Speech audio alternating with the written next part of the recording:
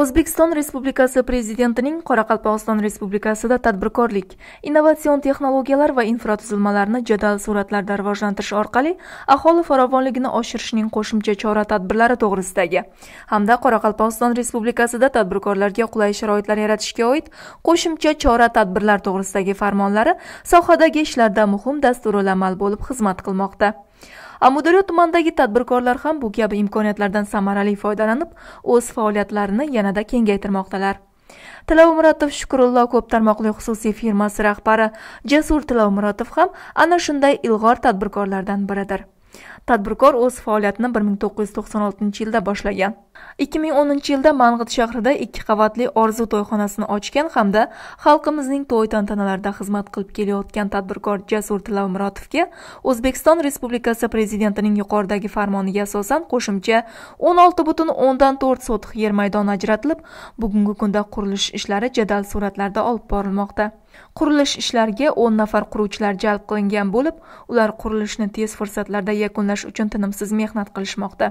Ta'kidlash joizki qoraqalpog'iston respublikasida tadbirkorlik faoliyatini tashkil etishni va yuqori qo'shilgan qiymatli raqobatbardosh mahsulotlar ishlab chiqarishni rag'batlantirish orqali hududga investitsiyalarni jalb qilish uchun qulay sharoitlar yaratish. Shuningdek tadbirkorlarning takliflarini bevosita o'rganish asosida kelgusi 7 yilda rivojlantirishning belgilangan pirovard natijalarga erishish maqsadida qabul qilingan prezident farmoni bilan qator yangi imkoniyatlar eshiklari ochilmoqda.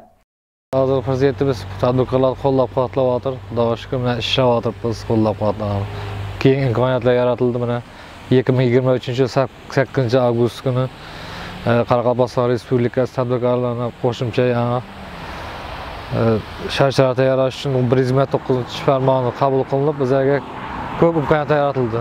Shu imkoniyatdan foydalanib mana 16-yı 4 sotluq yerdə alıb, zamanavi edib toxana quradıq bismillah. Xuda xələsə nəsib etsə tez arada işə kirəmiz.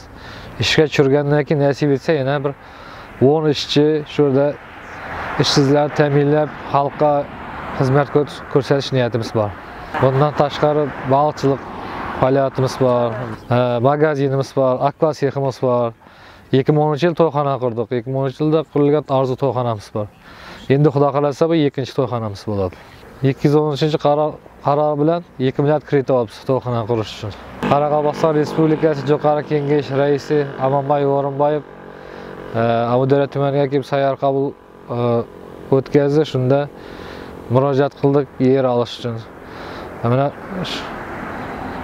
murojaatimiz ijobiy hal qilinib yuqori kengashingiz raisi amonboyev o'rinboyev ham hokimimizga katta rahmat. Mana yerni oldik. Xudo xohlasa to'yxona quramiz nasib etsa. Quryapmiz buni. Berilayotgan imkoniyatlardan oqilona foydalanayotgan ilg'or va tashabbuskor tadbirkorlardan yana biri said qilichevga ushbu farmon asosida yer maydoni ajratilib faoliyati yanada rivojlanmoqda.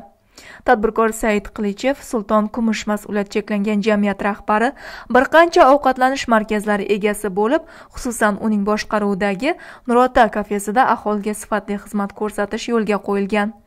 Xalqimizning to'y tantanalari bayram marosimlarida quvonchli kunlarda mazkur umumiy ovqatlanish muassasalari odamlar bilan gavjum. Endilikda tadbirkor prezident farmoni asosida to'rt milliard so'm investitsiya kiritish evaziga o'ziga ajratilgan yigirma olti sotix yer maydonida bolalar uchun attraksion elektromobillarni zaryadlash stansiyasi muzlatgichli sig'im tashkil etishni maqsad qilgan. Hozirda ajratilgan yer maydonida qurilish ishlari yarmiga yetib qoldi. Qayd etish joizki farmon bilan yaratilgan cheksiz imkoniyatlar tadbirkorlarimiz uchun imkoniyat eshiklarini ochmoqda. Bu kabi imkoniyat va imtiyozlar qoraqalpog'iston respublikasida tadbirkorlikni yanada rivojlantirish aholi bandligini ta'minlash va hududning iqtisodiy potensialini oshirishda muhim ahamiyat kasb etishi shubhasiz.